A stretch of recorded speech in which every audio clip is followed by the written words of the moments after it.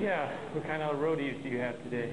Um, we have chicken boneless, chicken with bone, beef, lamb veg, shrimp, gosh, How about lamby? lamb. That would be great. Yeah.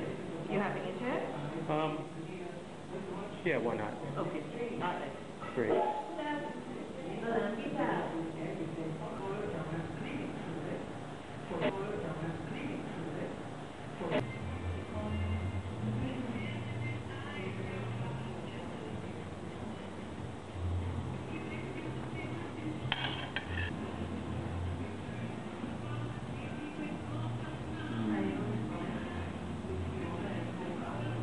Good stuff.